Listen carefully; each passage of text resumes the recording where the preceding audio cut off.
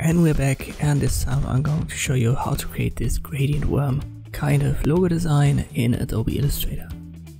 Make sure on the view that you've got your smart guides and snapped point activated. I've got a black fill color and a stroke and I use the ellipse tool, hold shift when you create this circle.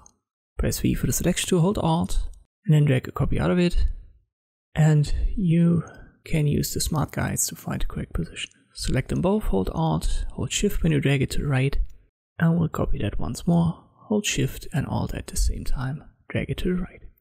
Now I'll use the basic swatches, red, yellow, green, turquoise and blue.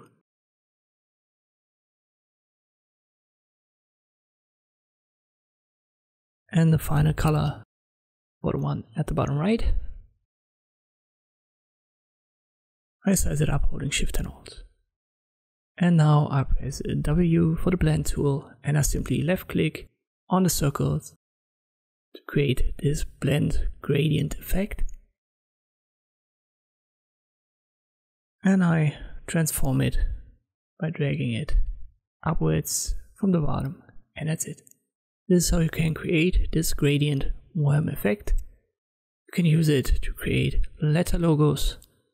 M's, W's, V's work best try it out in your own logo designs. Thank you for watching and I'll see you next time.